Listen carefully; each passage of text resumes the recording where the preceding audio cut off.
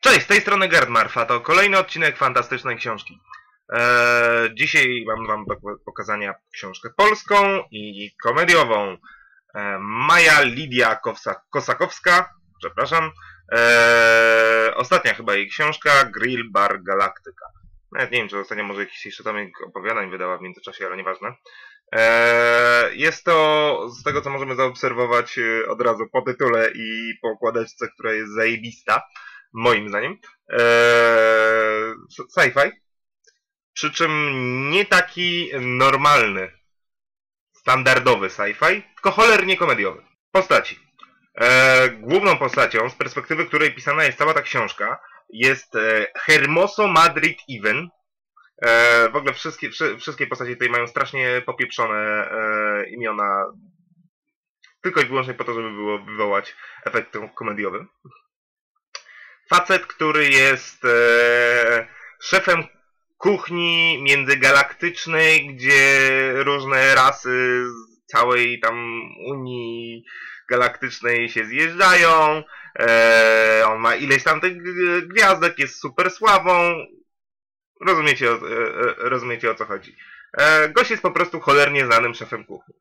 I cała książka jest o nim. Zaczynając od tego, jak wygląda jego restauracja, o co chodzi w tej restauracji, później dążąc do innych ciekawych przygód, ciekawych bądź mniej ciekawych przygód, e, właśnie Hermoso Madrid i Vena. E, Herm jest e, postacią, to nie jest bohater, to nie jest facet, który jest sierotą. Ciężko coś, coś, coś, coś powiedzieć o takim gościu. To nie jest typowa postać e, fantazy. Z jednej strony on niby ma ratować galaktykę, niby ma być super bohaterem, niby ma być super odważny, niby ma być super mężny i sprawiedliwy i tak dalej, i tak dalej, i tak dalej.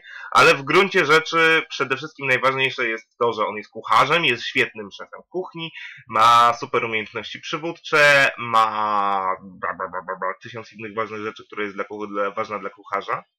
I, i, i na tym on stoi. Eee, cała fabuła jest stworzona dziwnie. Eee, otóż i ona też się wiąże strasznie z klimatem, więc jakoś będę to próbował wam jednocześnie mówić trochę i o tym i o tym. Eee, fabuła rozpoczyna się od tego, że mamy kilka, tam chyba trzy czy cztery bardzo randomowe historie. Eee, to, co mam na myśli randomowe, to jest takie, tak jakby to był tomik opowiadań, tak się to zaczyna, z jego przygodami. Czyli mamy e, przygoda numer jeden w restauracji, przychodzi do nas ważny gość, którego mamy obsłużyć i który jest e, mm, super wybredny. Albo przygoda e, numer dwa, przychodzi nam kontrola z sanepidu. E, a o tyle jest to ciekawe, że jest to właśnie umiejscowione w takim bardzo dziwnym świecie sci-fi, gdzie powoli Kosakowska tłumaczy nam rasy, tłumaczy nam e, opis wszystkich państw i e, wszystko robi z dużą dozą humoru i komedii. E, dlatego też jedna, jedna z ras jest bardzo głupimi pieczarkami, które później które cała planeta tworzy jeden wielki mafijny gang, e, a jak ktoś umrze, to później pozwalają go usmażyć, bo on jest najsmaczniejszą truflą na świecie, e, ale w ostatnich słowach zażyczył sobie żadnego smażenia. Tego typu sprawy. E, na, na, po czym druga połowa książki jest już ciągłą historią. Dzieje się coś, co powoduje, że Madrid zmienia, zmienia trochę swoje życie i obserwujemy jego po kolei przygody. Eee, co musi zrobić, jaką ma misję, jaki ma cel, co mu zagraża, co mu pomaga.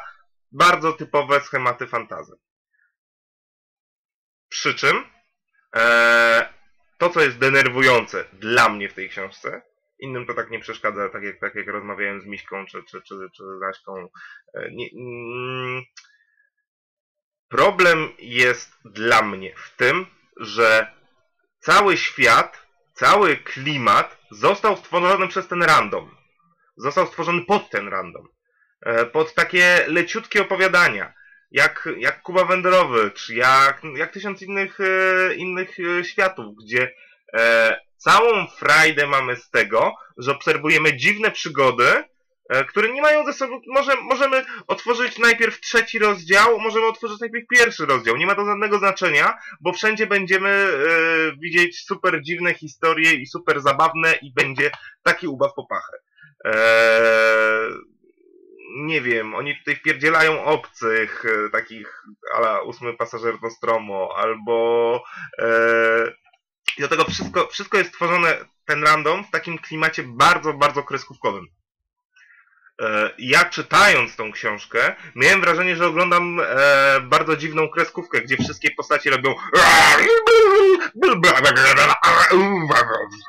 bardzo ekspresyjne, bardzo prześmiewcze i bardzo, e, bardzo przez to zabawne. Komedia sytuacyjna plus komedia wynikająca z takich no, założeń tego świata, jak właśnie te dziwne rasy, e, dziwne zależności pomiędzy nimi, e, dziwne imiona, gdzie nie wiem, rasa, e, rasa warzyw inteligentnych warzyw, które, których imieniem jest to, co, czym aktualnie się zajmują. W związku z tym mamy imię ten, który aktualnie kroi, albo ten, który poszedł do magazynu. Dla mnie zabawne. E, nawiązania do, do współczesności, które, które również są zabawne, zwłaszcza jeśli chodzi o nawiązania do Unii Europejskiej. Tutaj mamy Unię Międzygalaktyczną, która z jakichś powodów jest bardzo podobna. E, przy czym to, co świetnie się właśnie sprawdza w tym randomie, nie pasuje do mnie do, dla, dla mnie do późniejszej fabuły.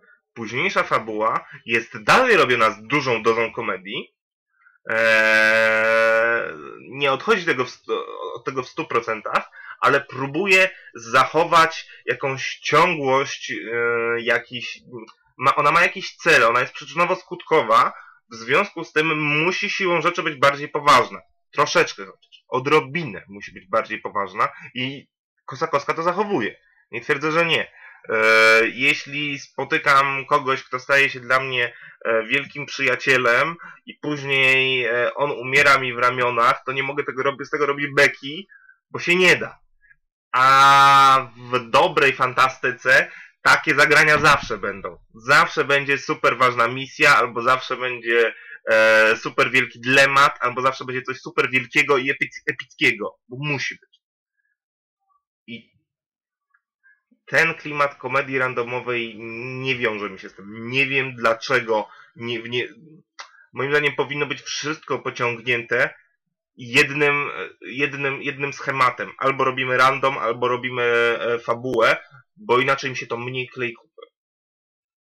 Po prostu po prostu jest to dla mnie mniej atrakcyjne e, i przez to, przez to irytujące. To nie zmienia faktu, że książka jest kawałem dobrej literatury. Po prostu jest w tych fragmentach jest irytująca. Kawał dobrej literatury może, może też przesadzam, bo to jest e, Galaktyka e, jest czymś, co przeczytacie w nie wiem, dwa dni, trzy dni, nie wiem jak szybko, jak szybko czytacie.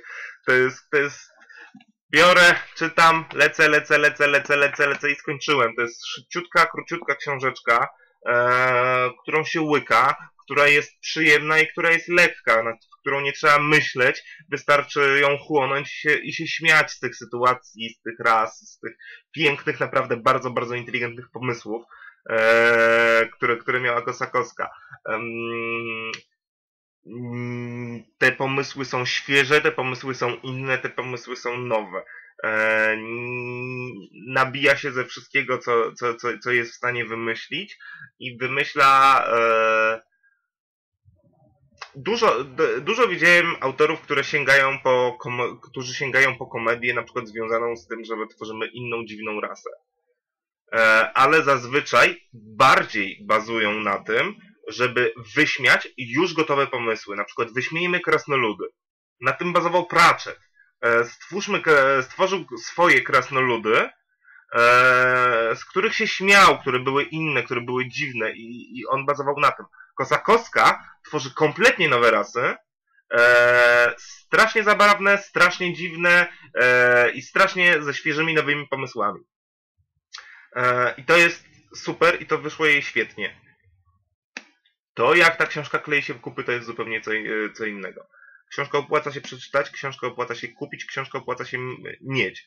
E, czytałem parę rzeczy Kossakowskiej. Nie jest e, dla mnie jednopoziomową autorką, gdzie wiem, że wszystko, co jej kupię, będzie dobre, wszystko, co jej kupię, będzie złe, albo wszystko, co jej kupię, będzie średnie. Ma dużo dobrych i dużo kiepskich bardzo tytułów. E, I Grillbar Galaktyka prawdopodobnie jest jednym z jej lepszych tytułów, jeśli nie najlepszym, chociaż nie wiem, bo Obrońcy Królestwa byli też świetni. Eee, tak, tak czy inaczej, jeśli ktoś czytał co innego Kossakowskiej i mu się spodobało, o ile to nie jest zbieracz burz, to to powinno mu się spodobać. Eee, dlatego, dlatego serdecznie Wam polecam. Okładeczka bardzo mi pasuje, pasuje do książki. Co jeszcze Wam mogę powiedzieć? Książka jest oczywiście wydana jak e, połowa polskiej fantazy przez Fabrykę Słów. W ogóle Kosakowska chyba nie z fabryką teraz współpracuje, mimo że wcześniej bodajże współpracowała z Runą, ale nie chcę Was oszukiwać, e, bo nie jestem pewien. Lublin 2000, 2011 czyli mamy, mamy dwa latka tej e, książki, ona jeszcze jest spokojnie w księgarniach, bo ona nie, nie poszła, poszedł całkiem spory nakład i nie poszedł, nie, nie poszedł na jakiś taki strasznie wielki szał e, zakupów, więc jeszcze spokojnie można ją znaleźć, ona spokojnie jest w większości empików i w dużej części mniejszych księgarni. Eee, prawdopodobnie powiedziałem wam o wszystkim. Powiedziałem wam e, trochę o różno, różnych postaciach, trochę o świecie. No, mm, jeśli chodzi o właśnie tego, wrócę jeszcze Hermosa Madrid Even. Eee, nie wiem, czy polubicie, nie wiem, czy nie polubicie tej postaci, ale to jest jedna z tych postaci głównych, które służą głównie do opisu tego, co się dzieje wokół niej. W związku z tym on ma jakiś swój charakter, Eee, ale on nie jest tak istotny. Nie jest tak istotny, ważniejsze jest to, co się dzieje dookoła niego. Dobra. Dziękuję Wam bardzo za oglądanie. Mam nadzieję, że zachęciłem Was do przeczytania książki Grillbar Galaktyka. Jeśli Wam się podobało, oczywiście dajcie łapkę w górę i subskrybujcie mój kanał, żeby zobaczyć kolejne odcinki fantastycznej książki. Ja dziękuję Wam w tym momencie bardzo i zapraszam do następnych odcinków. Na razie.